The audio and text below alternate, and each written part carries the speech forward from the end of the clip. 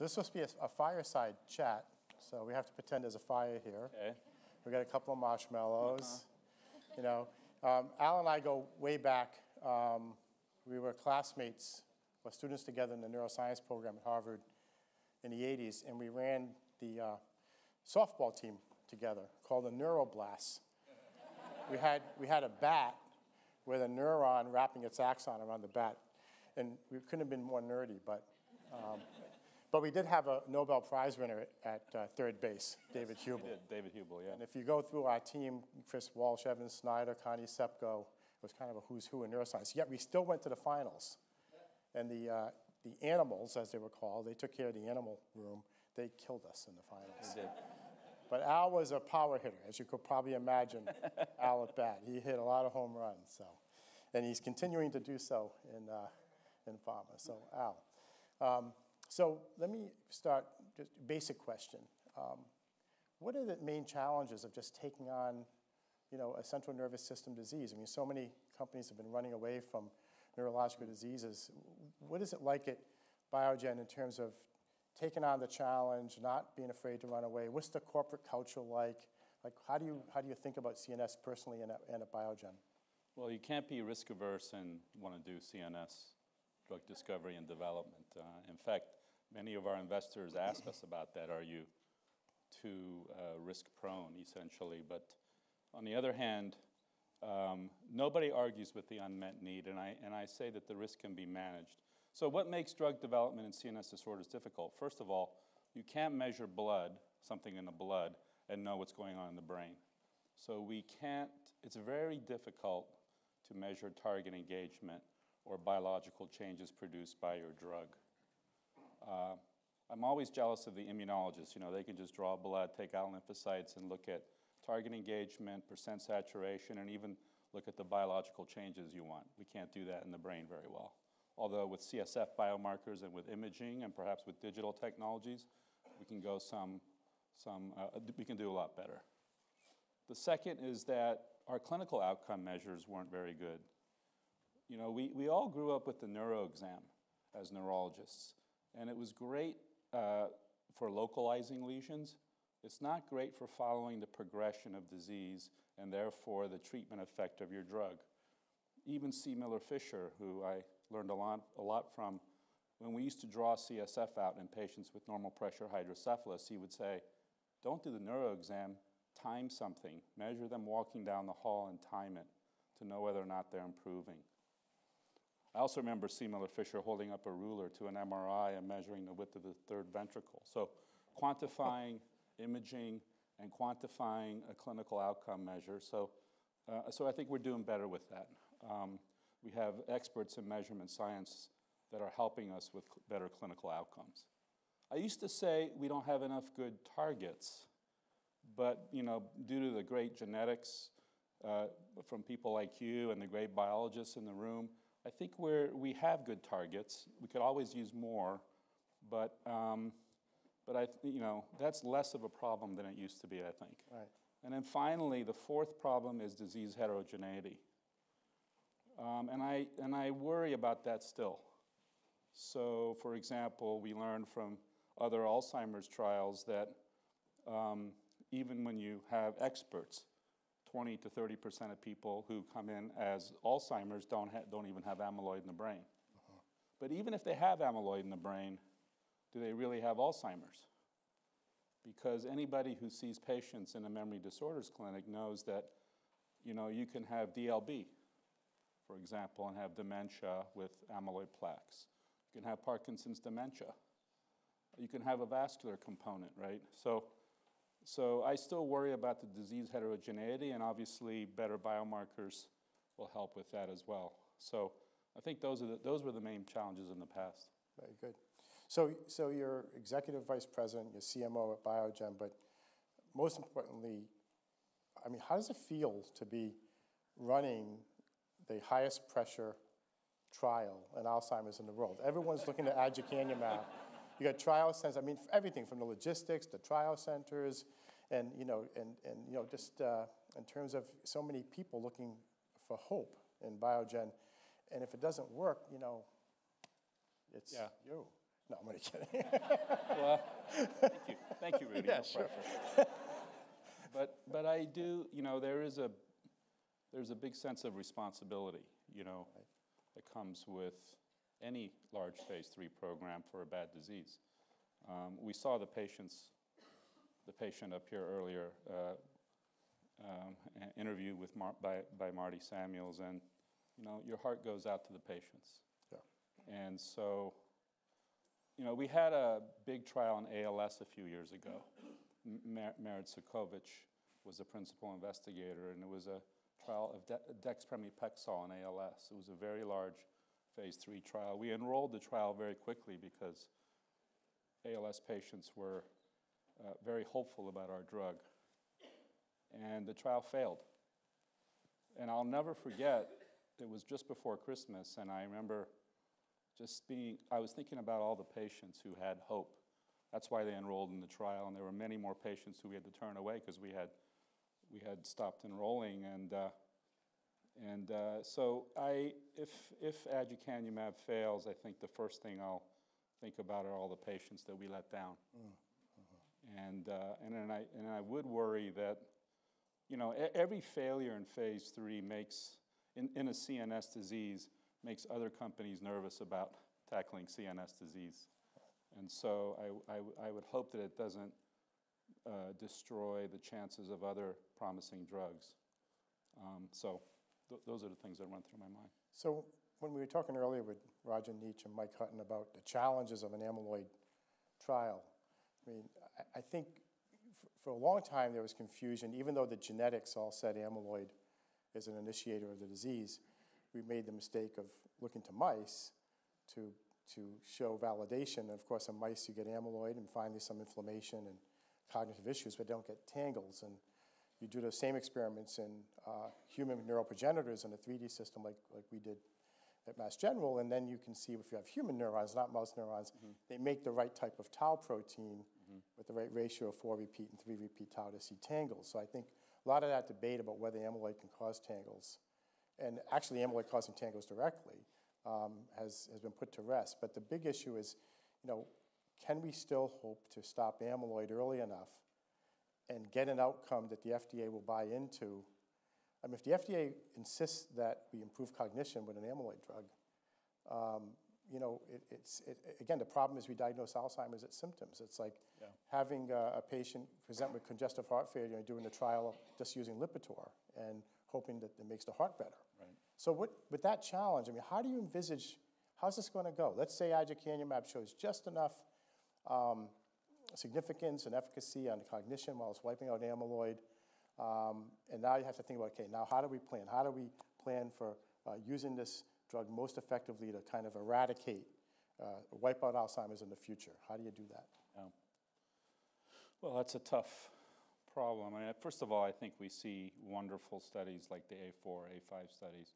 I know Reisa's in the uh, audience, so we see that we can s- start to test these drugs pre-symptomatically. And my understanding is that the regulators are allowing for the use of cognitive test batteries to show efficacy. So, so you know, um, and uh, so there, there are examples of these sort of pre-symptomatic uh, trials. So they're already going on. But I mean, ultimately, you know, I sometimes think about what the future will look like. And I think we're going to be considered barbarians by people 100 years from now, that we were trying to, you know, I sometimes Well, I look at our president. I mean, like we were like like we're trying to fix a Listen to something. Swiss Swiss watch with uh, with a hammer and pliers. You know, um, we we use very blunt instruments as therapeutics, but it, I suspect one day we'll have, since we all have iPhones already, the iPhone will probably indicate that. W- even before we see the doctor, that we have to go and get a blood test. And then we'll get a blood test. So you're saying that in terms of early detection, Yeah. okay, so early prediction Well, as. Roger said, 30 years prior to the onset of symptoms, the disease process starts. Right. And, and the, the, the idea is that there will be subtle changes that your iPhone can detect. You may not, or your, your spouse may not, but your iPhone may.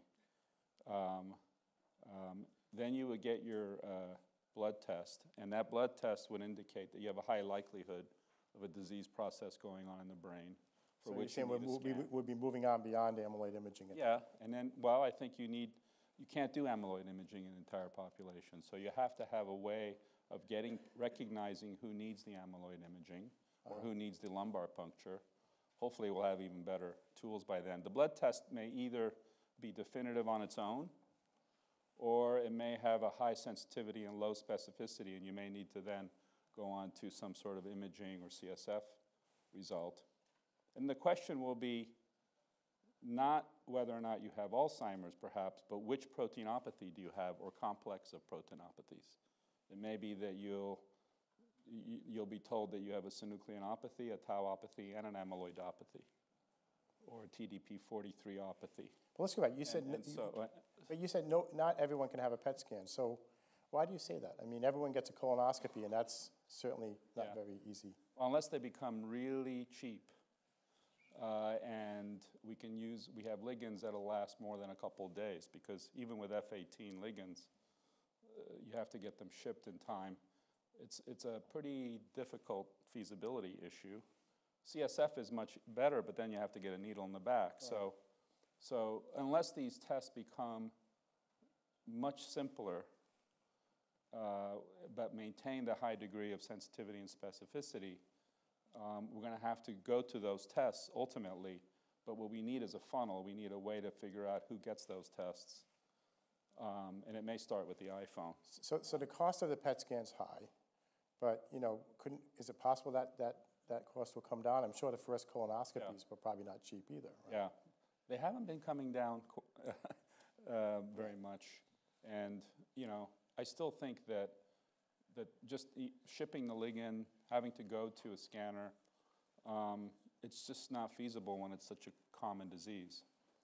Um, and so, and then and then as as Roger was saying, I think, you know, we're not going to want to just treat the amyloid, and then as you're indicating, we may have to figure out. It, it may be too late if the tau has started to spread, so we may need to add uh, a tau agent.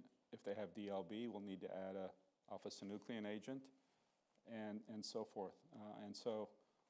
We'll, we'll go from these names that we give, like DLB or AD, to um, a molecular diagnosis, and I think we'll treat according to the molecular diagnosis.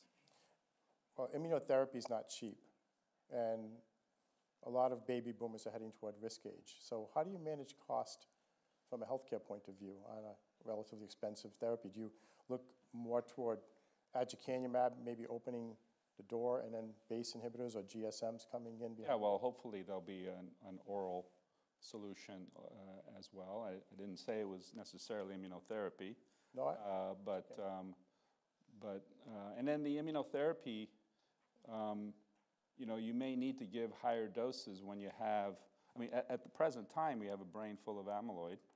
You may have to give very high doses at this point, but perhaps when you treat at a much earlier stage, you don't have to be as aggressive, uh, and you can use lower doses, and you maybe you can go to sub-Q versions of, of immunotherapies if we're if we have to stay with immunotherapies. But I I think uh, one day it'll be an oral. so let's say BACE inhibitors, right? So Merck just canceled their trial. What does that mean for your own BACE inhibitor you're doing with Eisai? Well, we're still uh, very excited about our program with Eisai. We're starting the phase three enrollment. Um, we haven't seen the data, so we don't know whether or not there's a subgroup in there where there was more efficacy. We, I note that they're continuing their prodromal study, so I assume that means that, that uh, certainly it's safe enough to do a prodromal study, and perhaps they're seeing some evidence of efficacy in the earlier stages of Alzheimer's. I don't know, we haven't seen the data, but we'll find out.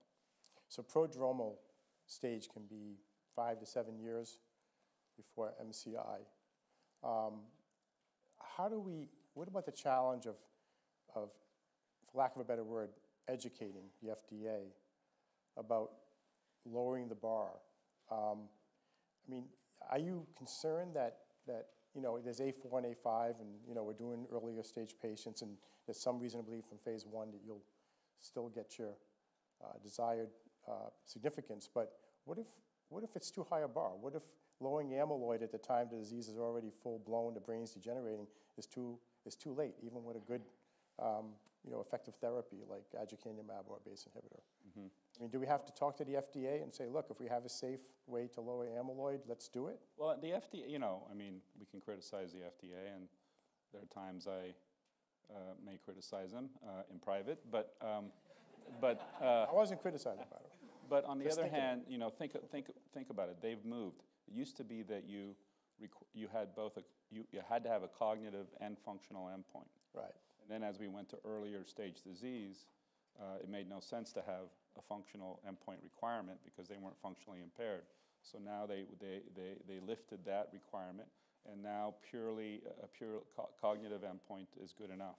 And so, and then my understanding is that in these prevention trials or these pre-symptomatic trials, you can use cognitive testing. So, so I think the FDA and, and other regulators are moving in the right direction. Um, and it's good to see that they're responding to data. Okay, so let's say that all works. We have some safe drugs, we can, we can detect early, we can hit early. What about physicians? How do we, is there a plan to think about how to then educate everything from your, you know, physicians to neurologists to PCPs to, there, have you been thinking about that? Well, you, you earlier you asked what happens if the aducanumab trial fails. Right, Well, if the aducanumab trial succeeds, we're not without issues right, because the healthcare system, I don't think, is ready for a drug like aducanumab. First of all, it talked about recognizing who needs aducanumab. We're not set up um, for that to happen in a, ver- in a very efficient way. It's an intravenous drug. Um, are, th- are there enough infusion centers to Right. give this drug um, once a month to hundreds of thousands of people who are going to want, want it sooner rather than More. later? probably more than that, right? Yeah, and that's right, Yeah. millions. Yeah. So, um, and, uh, and then if, you know, um, there may be a requirement for MRI monitoring, for example. So there's a whole list of infrastructure issues, not to mention the physician. In some countries, they don't recognize MCI or prodromal. Um, and so uh, there's that whole uh, educational aspect. So, so even if the aducanumab trial's positive, which I hope it will be, um, there's a lot of work to do yet to introduce the first disease-modifying therapy for Alzheimer's. Right, but I mean, health insurance companies must be thinking about this already. That, Um, well, they're thinking, uh, I don't know how much they are. We're start, we are starting to talk to them. We, we have started to talk to governments as well as insurance companies to prepare the way. But, um, you know, it's amazing how until the, dr- they've seen so many failures that it's a little abstract still for, for many people that we talk to. Well, let's get back to this idea of pre-screening who might have to have um, a PET scan for amyloid rather than giving everyone a PET scan for amyloid. Um, should we have an annual, at some age, start, just start an annual wellness visit looking for cognitive changes rather than just relying on whether your Yeah. iPhone hears you talking funny Yeah. or something? I could eas- I could see that. Perhaps if you have, uh, may, maybe you'll get a genetic risk score, Mhm. in which case you you have a higher likelihood of getting cognitive testing. Um, Right. I could see various ways where this this would go. To me, I, I like the idea of having. Um, the reason why I like the iPhone idea is, first of all, everybody has one, and almost in every country I've ever been to, everybody seems to have an iPhone. And second, it, it doesn't require anybody to do anything um, beyond their normal, uh, what they do in daily life. So, um, so and, and you can you get the advantage of having daily measurements. When you go to the doctor on any particular day, you may not do well on a cognitive test because you don't you didn't get enough sleep the night before or whatever. The advantage of having daily measurements is that you can, uh, and, and the prior uh, session was about big data.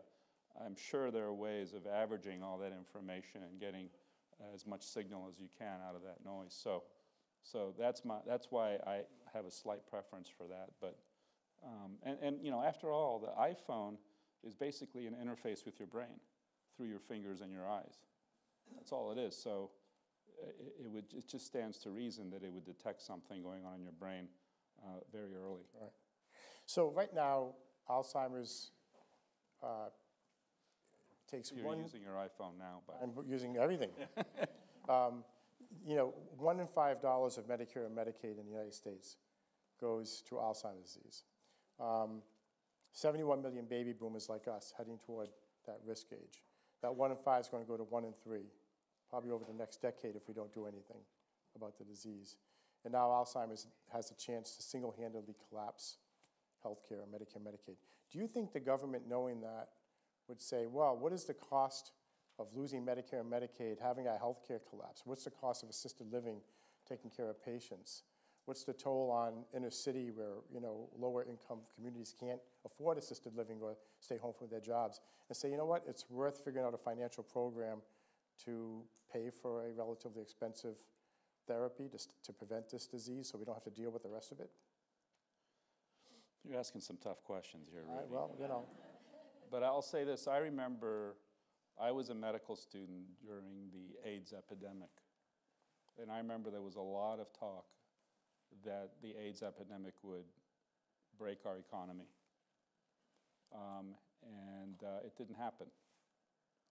And the reason why it didn't happen is that we figured out how to uh, prevent AIDS. Now we don't even talk about AIDS, we talk about HIV positivity.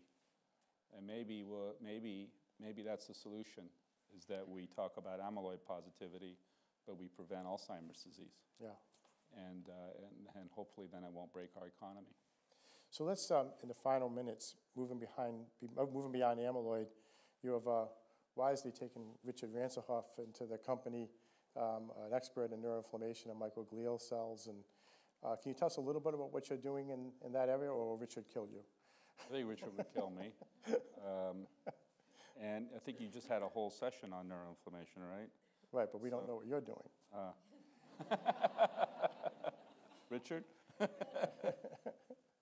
Uh, I mean, CD33 has become a big Yeah, target. Trem- well, well, yeah, so I think, you know, CD33, TREM2. Um, to, to me, the whole microglial field, um, you know, the problem with these cells is that you take them out and they change as soon as you take them out of the Yeah. Um, I would like to understand all the various states of microglial cells in health and disease in humans and, and, and begin by trying, because when I hear words like microglial activation, or I don't even know what that means, um, activated to what state? There's different states. Yeah, and so I, I feel I feel like we're at, we're just on the beginning of understanding the complexity of these cells, uh, and then if we can get ligands that recognize the various states, then we can maybe try to understand much more about fundamental aspects of microglial cells. But in the meantime, uh, TREM2 and CD33 look like good targets. How we will do the early clinical experiments to know that we've gotten the biological change we want, that's Richard's problem and yours. Now, now you know, AD and MS are two of the diseases you tackle in uh, CNS. What, let's say you're successful. You, you've had success in MS. Let's say you have success in AD. We hope it works. What's, what's next? Well, I've What are always, you doing five years from now? well, you know, I mean, at Biogen. Well, I, I used to see uh, ALS patients at Mass General before I came to Biogen. And in fact, that's what drove me to go to Biogen was that it's such a terrible disease. And to have to tell people they have ALS, and on top of that, tell them that we have nothing to offer them really except for Riluzole, which is helpful, but minimally so. Um, I would love to see a solution for ALS, and uh, I know Merit is sitting there, and I'm sure she's thinking the same thing. And it feels like we're we're, we're gaining traction. Uh, you know, Steve Paul talked about SOD. We have a program in SOD as well. Um, for me, ALS, we can break it down into the genetic subsets, C9orf and otherwise, tackle it one by one, and then uh, hopefully uh, we'll, we'll uh, eventually uh, solve ALS uh, for the broad ALS population. Well, all thank you for your leadership and what you're doing, and thank you for being so candid in this interview. Thank you.